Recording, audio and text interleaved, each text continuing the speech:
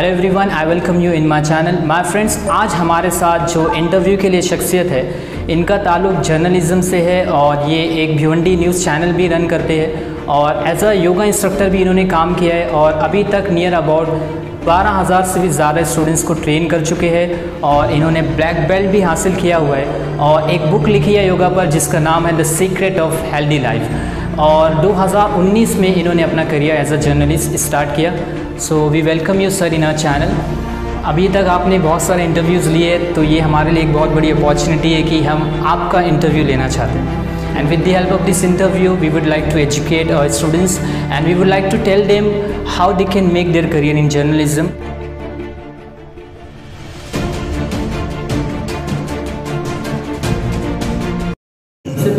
आपसे जानना चाहेंगे कि एक अच्छे न्यूज़ रिपोर्टर के अंदर क्या क्या क्वालिटीज़ होना चाहिए?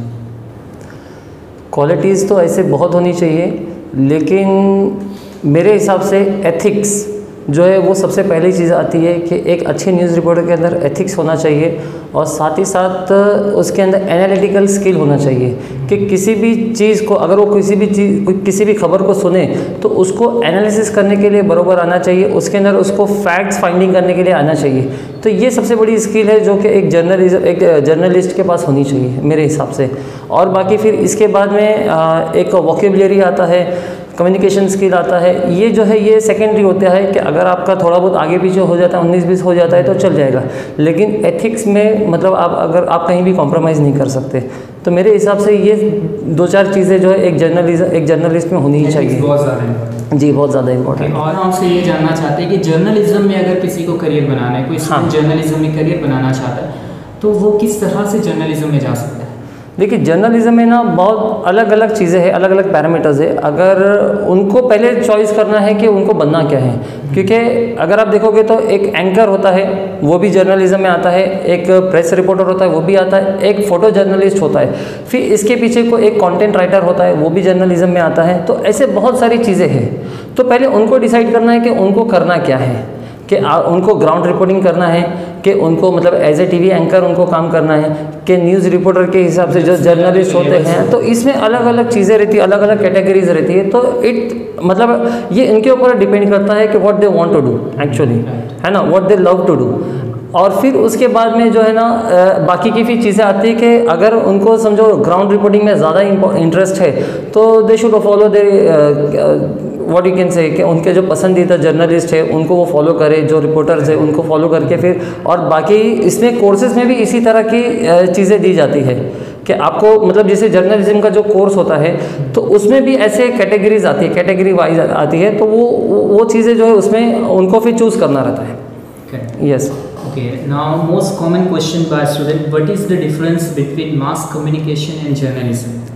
Actually बहुत सारे स्टूडेंट ये दो टर्म में बहुत ज़्यादा कन्फ्यूज़ होते हैं। जी देखिए कैसा है mass communication is a whole whole tree what you can say and journalism is just a branch of mass communication yes exactly क्योंकि मास कम्युनिकेशन में ना, अगर आप मास को एड्रेस करो that comes into mass communication फिर चाहे वो रेडियो जॉकी होने दो, फिर चाहे वो वीडियो जॉकी होने दो, और यू कैन से कि वो एक इवेंट मैनेजर रहने दो इस पर फिर बाद में फोटोग्राफी आता है फ़िल्म मेकिंग आता है। मतलब वह when where you can address the mass तो वो आ जाता है मास कम्युनिकेशन में इवन पॉलिटिशियंस तो ये मास कम्युनिकेशन में आ गया.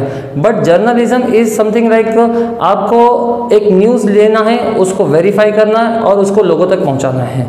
हाँ और उसके ऊपर उसकी ज़िम्मेदारी भी उठानी है. तो ये जर्नलिज्म में आता है. It's a part of mass communication but it's not a mass communication मतलब it's not a mass communication as whole या तो ये डिफरेंस होता है दोनों में.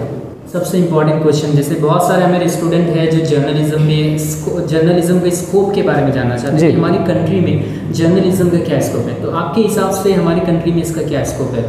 देखिए अभी तो हमारी कंट्री में जर्नलिज्म का बहुत ज़्यादा स्कोप है लेकिन साथ ही साथ मैं बोलूँगा कि कहीं ना कहीं जर्नलिज्म को बदनाम भी किया जाता है कि किसी ने पूछ लिया कि आप कौन सी पार्टी के जर्नलिस्ट हो? आप कौन सी पार्टी के पत्रकार हो? तो ये आजकल के ऐसे जोक्स भी जो है बहुत ज़्यादा मार्केट में चल रहे हैं। हाँ कि अगर आप किसी के बारे में अच्छा बोलते हो तो लोगों को लगता है कि ये इसी पार्टी का है। या अगर आप किसी की बुराई करते हो तो भी ये लगता है कि अपोजिशन पार्टी का है।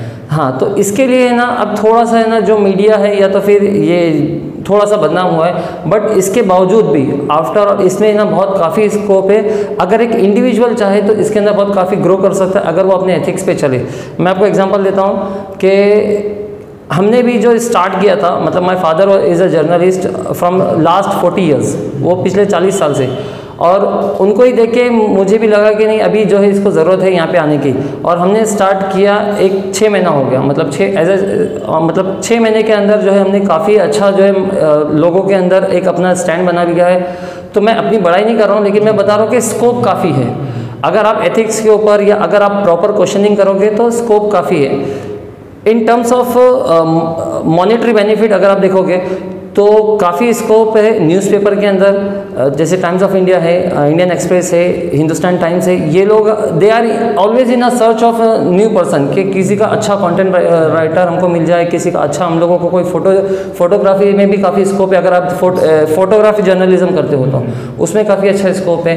फिर साथ में अगर आपको और थोड़ा ऊपर जाना है टीवी पे आना है टीवी प्लेटफॉर्म पे आना है so N D T V Aaj Tak they are always in search of good anchor they are always in search of good ground reporters मैं आपको बताऊँ इवन मुझे भी एन डी टी वी से call आ चुका है। हाँ लेकिन लेकिन हाँ लेकिन मैंने उसको अभी तक ये नहीं किया। तो ये ये बात होती है कि इसमें स्कोप काफ़ी ज़्यादा है। क्योंकि ये बहुत बड़ा एक हमारे आई थिंक अवेयरनेस की कमी है I think yes yes exactly एक तो अवेयरनेस की कमी है और दूसरा मतलब लैक ऑफ़ नॉलेज या तो फिर ये बोलेंगे कि एक रॉन्ग इंटरप्रिटेशन जो है लोगों तक पहुँचा है जर्नलिज्म के बारे में या तो फिर तो इसके लिए ना लोग उतने ज़्यादा इसके ऊपर इसको एज ए करियर नहीं देख रहे एज ए हाँ इसको फोकस नहीं कर रहे। Next question I like to ask you आपके, जैसे आप भी एक जर्नलिस्ट हो, आपने अपना करियर एज अ जर्नलिस्ट 2019 में स्टार्ट किया तो आप किस तरह से एक न्यूज़ को प्रिपेयर करते हो? What is your strategy see अब क्या, आजकल क्या हो गया ना, कि कहीं पे भी कुछ घटना होती है, कुछ इंसिडेंट होता है तो विद इन ए मोमेंट वो फेसबुक पे आ जाता है विद इन ए मोमेंट वो व्हाट्सअप पे आ जाता है और वो वायरल हो जाता है, आग की तरह फैल जाता है वो। लेकिन बहुत से जो हमने देखा है यहाँ पे जो लोकल न्यूज़ चैनल्स रहते हैं तो उसी वीडियोस को लेके वो लोग खुद का लोगो लगा के उसको लगा देते हैं। But we don't do that हम लोगों का तरीका क्या है? हम लोगों का स्टाइल ऑफ़ वर्किंग क्या है कि हम लोग अगर हमको उस चीज़ के बारे में जानना या हमको उसमें इंटरेस्ट है कि ठीक है ये हाँ तो हम पहले स्पॉट पे जाके उसकी उसका जायज़ा लेते हैं। सेकेंड थिंग जो जिसका वीडियो है उस कंसर्न पर्सन से हम लोग कॉन्टेक्ट करके बात करते हैं। उसके पीछे का सच जानने की कोशिश करते हैं क्योंकि हर एक चीज़ के दो पहलू होते हैं। है ना? एक जो आप देख रहे हो और एक होता है जो उसके पीछे का सच। हाँ तो हम लोग मतलब we try to find out the actual fact कि इसके पीछे का फैक्ट क्या है और फिर उसके ऊपर इसके कॉन्सिक्वेंसेस क्या हो गए कि अगर हम इसको न्यूज़ को चलाते हैं तो कहीं इससे किसी दूसरे को तो ये नहीं होगा तकलीफ़ नहीं होगी, कुछ प्रॉब्लम नहीं होगी। तो ये तीन चार चीज़ें देखने के बाद में हम लोग एक न्यूज़ को प्रिपेयर करते हैं। फिर उसके अंदर हम लोग ये चीज़ें देखते हैं कि हम लोग उसको कितना अच्छे से रिप्रेजेंट करें, कितना सरल भाषा में रिप्रेजेंट करें और कितना इजी तरीके से कि ताकि वो लोगों तक वो मैसेज पहुँचे, लोगों तक वो न्यूज़ पहुँचे। मैं आपसे अब ये जानना चाहूँगा कि मास कम्युनिकेशन में हमारे पास क्या क्या ऑप्शन होते हैं? जैसे आपने बताया कि mass communication is a very broad term या एग्जैक्टली क्या क्या ऑप्शन होते हैं? मास कम्युनिकेशन में अगर हम लोग गिनने के लिए बैठेंगे ना तो there are N number of options अगर आप देखोगे तो फ़िल्म फ़िल्म मेकिंग हो गया फिर इसके बाद में इवेंट मैनेजमेंट हो गया. इवेंट मैनेजमेंट कम्स इनटू या फिर पॉलिटिक्स हो गया फिर इकोनॉमिक्स भी जो है मतलब सोशो इकोनॉमिक्स जो होता है वो मास मास कम्युनिकेशन में आता है. रेडियो जॉकी हो गया फिर आर जे जिसे बोलते हैं तो वो भी मास कम्युनिकेशन में हो गया that's a part of mass communication तो ऐसे बहुत सारे ये है मतलब जहाँ पे when you are approaching the people तो दैट कम्स इनटू आजकल लोग सोशल मीडिया को भी काफ़ी ये कर रहे हैं, जैसे कि यूट्यूबर्स है आज, है ना? तो यूट्यूबर्स भी अपने ब्लॉग्स बना के डालते हैं that's come into mass communication तो वो अपने अपने ब्लॉग्स बना के डालते हैं, कोई कोई फ़नी बना के डालता है, कोई किस तरह से, कोई इन्फॉर्मेशन बेस पे डालता है। तो वो वो सारी चीज़ें मास कम्युनिकेशन में आती कैटेगरी आती है मास बिल्कुल बिल्कुल बिल्कुल बहुत सारी आ जाती है। And you are a news reporter so as a news reporter who is your favourite news reporter see my favourite news reporter is Prannoy Roy he is the co founder of NDTV तो he has started with the Doordarshan उन्होंने दूरदर्शन से start किया था and even he has become a anchor for BBC world also और मुझे वो आदमी कब से पसंद आने लगा? जब ये when there was a war of Iraq जब सद्दाम हुसैन का जो ये हुआ था इराक का तब that person has literally gone to the Iraq और वहाँ से उन्होंने रिपोर्टिंग कवर करके किया था। मतलब उनका जो डेडिकेशन था ना एंड स्टिल आज तक अगर आप देखोगे ना तो he is one of the gem person के जिसके ऊपर एक भी दाग आप बोलोगे कि रिपोर्ट मतलब इसका आ, किसी और चीज़ का या तो फिर वैसा अभी तक के नहीं आया। तो मतलब he is such kind of a person कि अगर आप उसको या या या वेरी ऑनेस्ट अगर आप उनको फॉलो करोगे ना तो you will come to know के वाकई में और जो आज एन का जो नाम है ना only because of that person वो बाद में फिर रविश कुमार ने जो है टेक ओवर किया प्राइम टाइम पे जो है काफ़ी उन्होंने ये किया. बट uh, मतलब अगर रविश कुमार के पीछे कोई है so there is Prannoy Roy तो हाँ मतलब ही इज़ माई आइडल तो मैं उनको ज़्यादा फॉलो करता हूँ. टॉक अबाउट योर हॉबीज़ आप फ्री टाइम में जैसे क्या करना पसंद करते हैं? देखिए, मुझे तो खेल कूद का बहुत ज़्यादा शौक है मतलब जो फिज़िकली खेल होता है मोबाइल्स में नहीं। हाँ जैसे कि क्रिकेट हो गया I am just mad about cricket और साथ में मतलब मैं थोड़ा बहुत अपना योगा का और कराटे का भी प्रैक्टिस कर लेता हूँ जब मैं जिम में जाता हूँ तो तो मुझे फ़िज़िकल एक्टिविटीज़ में बहुत ज़्यादा इंटरेस्ट रहता है। तो फिर, वो फिर मेरे सामने कोई भी है फिर चाहे वो किसी भी तरह से, जैसे कि बच्चों के साथ में खेलना हो गया या कुछ हो गया तो फ़िज़िकल एक्टिविटी में मैं देखता हूँ कि हमेशा अपना ज़्यादा से ज़्यादा टाइम पास करूँ। और दूसरा थोड़ा सा पार्ट मैं रीडिंग के लिए रखता हूँ अपना फ्री टाइम में। लेकिन अभी फ़िलहाल तो वो बहुत मिलता, मिल नहीं पाता है, लेकिन हमारे प्रोफेशन के हिसाब से रीडिंग जो वैसे रीडिंग तो मुझे स्टार्टिंग से ही पसंद है। तो वो मैं थोड़ा देखता हूँ कि कहीं ना कहीं मुझे रीडिंग के लिए समझो आधा घंटा, दस पंद्रह मिनट जो भी मिल जाए तो वो मैं निकाल लेता हूँ। जैसे आपने मार्शल आर्ट में ब्लैक बेल्ट हासिल किया हुआ है तो ये आपने कहाँ से कंप्लीट किया और कहाँ से आपको ब्लैक बेल्ट मिला? देखो, ये तो एक जगह से नहीं किया है, ये तो मैंने मतलब एक के बाद एक एक के बाद ऐसे तीन चार मास्टर्स हमने चेंज किए, क्योंकि कहीं पे थोड़ी ट्रेनिंग दो महीना, चार महीना फिर करके ऐसा करके, लेकिन मेरे जो मेन मास्टर जिनके पास बहुत ज़्यादा मैं लंबा टाइम रुका था, वो थे हमारे रणबीर सिंह एल रणबीर सिंह करके, वो मणिपुर से थे।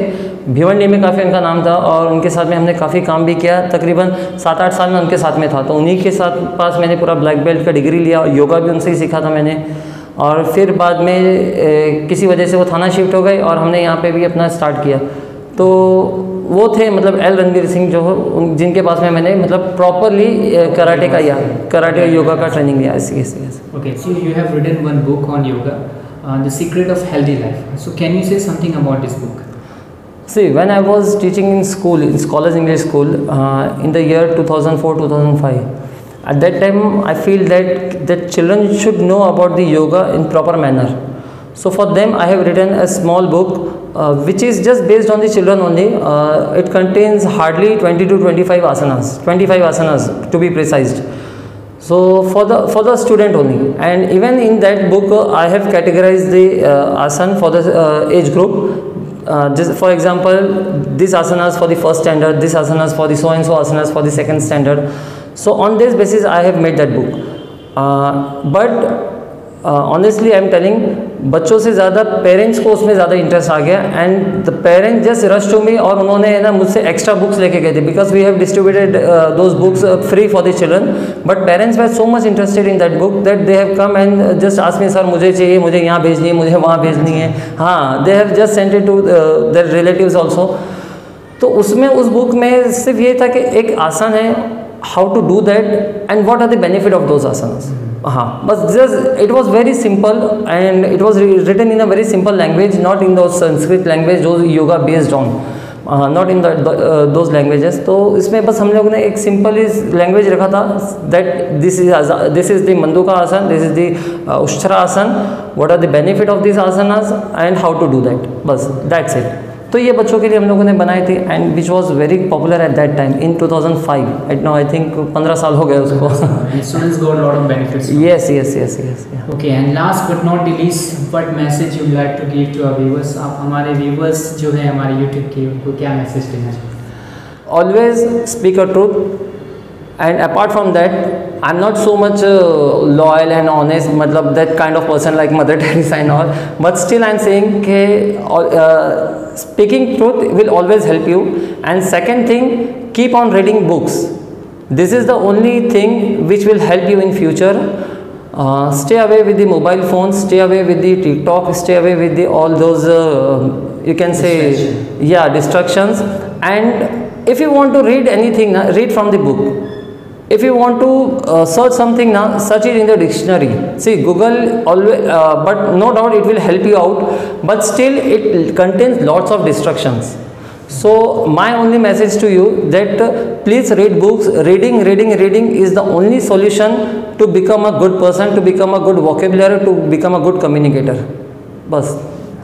Great. So we are so honored to Firoz Memon sir uh, for giving his precious time to us. Thanks a lot for watching. it's my pleasure to be with you here yeah And keep watching our videos like this. Thank you. thank you